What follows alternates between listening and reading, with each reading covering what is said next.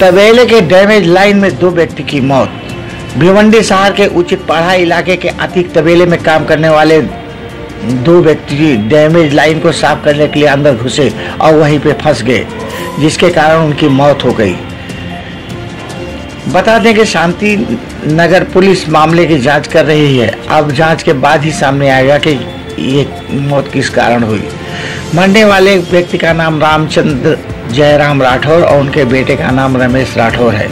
बता दें कि महाराष्ट्र न्याय मंच के संयोजक फकरे आलम ने बताया कि दो नंबर की पानी की लाइन थी, जिसको उन्होंने महानगर पालिका के अधिकारियों को ले जाकर दिखाया, लेकिन महानगर पालिका के लोगों ने कोई कार्रवाई नहीं की, जिसके कारण आज ये घटना हुई।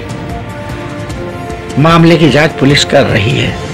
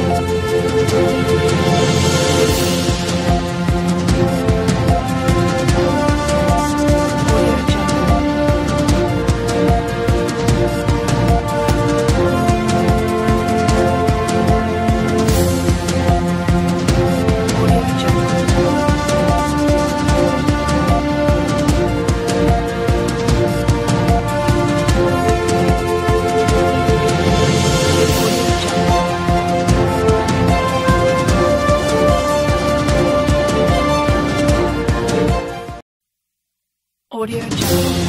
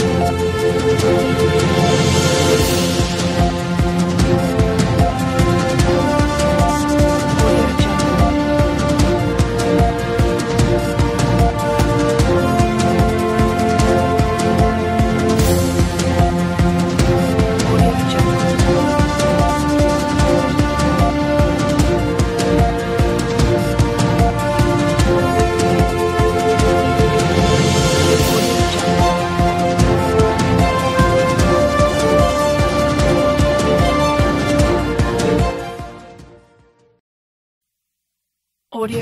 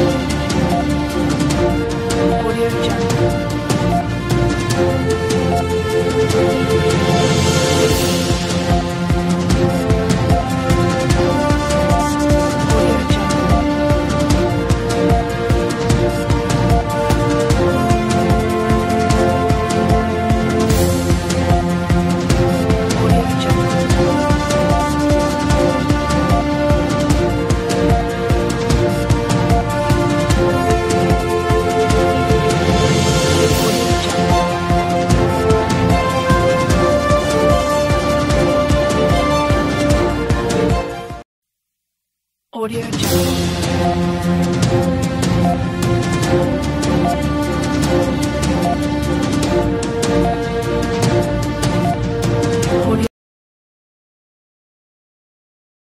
पे एक सीवर है ड्रेनेज है ड्रेनेज में चेंबर है।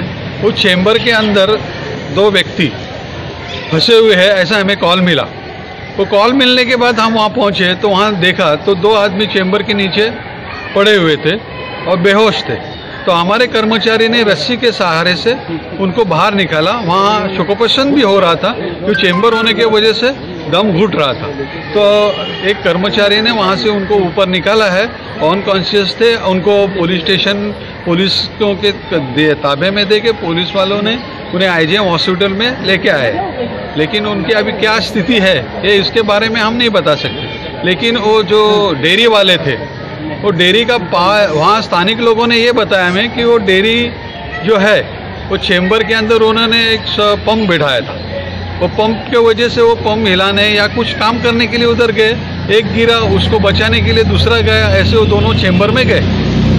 लेकिन वो डेयरी वाले ने पंप क्यों बिठाया था पानी?